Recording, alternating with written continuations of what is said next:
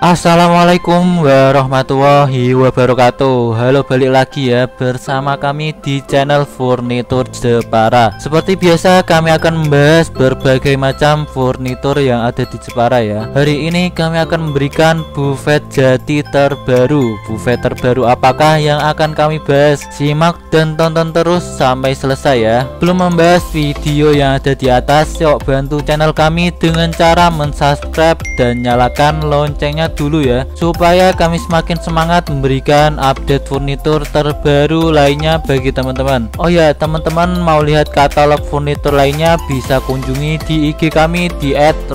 barokah